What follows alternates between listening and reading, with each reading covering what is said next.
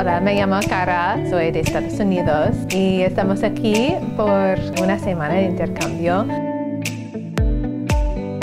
We have been working to create this exchange so that our students can meet students from the St. Peter's School. They've been having a great time here in Barcelona, getting to know the sites around town and um, but their favorite part is the relationships that they're making and the friendships that they're making with the students here at St. Peter's School.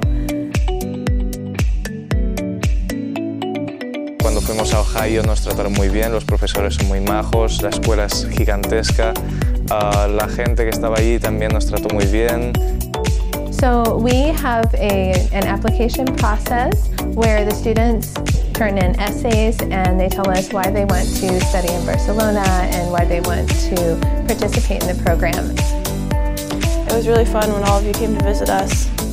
I'm positive that everyone liked having you. You're all very good guests and um, being in Spain is very fun. I've never been to Europe so it's kind of crazy to be here.